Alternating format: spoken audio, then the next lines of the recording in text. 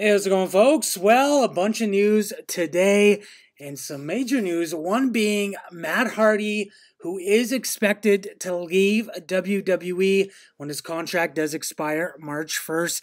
This comes according to Dave Meltzer in the latest edition of the Wrestling Observer newsletter. I guess Matt Hardy pitched an idea to WWE to revive his broken character, but they weren't interested.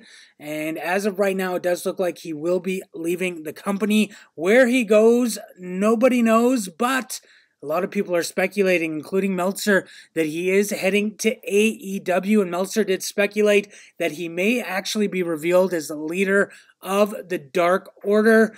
Matt Hardy's brother Jeff does have additional time on his contract, an additional year, so he won't be leaving anytime soon due to his injury, as he had additional time added. But it does look like Matt Hardy is expected to leave WWE when his contract does expire March 1st. Another big name we've been talking about a lot is Marty Scurll. And it does look like Ring of Honor is actually close to finalizing a new deal with Scurll. According to Mike Johnson or a PW Insider, backstage talk suggests that Scurll and ROH are close to coming to terms on a new deal.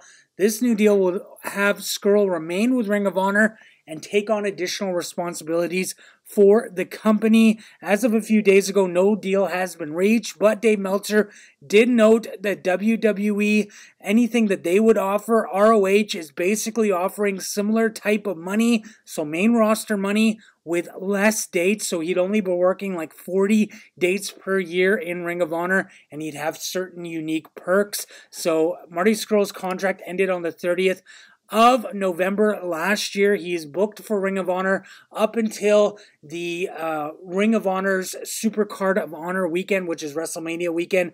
Additional dates have not been booked and no deal has yet to be signed, but they are close to finalizing a deal. Lastly, the revival. They have yet to sign new contracts with WWE, but according to Fightful Select, WWE has made continued efforts over the last eight months to re sign the revival. Last year, WWE offered Dash Wilder and Scott Dawson $550,000 each per year to sign new multi year deals with the company. And at the same time, WWE was able to re sign Luke Gallows and Karl Anderson to new deals, which did come with significant higher downside guarantees. WWE's current offer with the revival has approached or exceeded higher guarantees than Gallows and Anderson. The company has also offered a reduced schedule for the team as they worked in excess of 150 dates in 2019.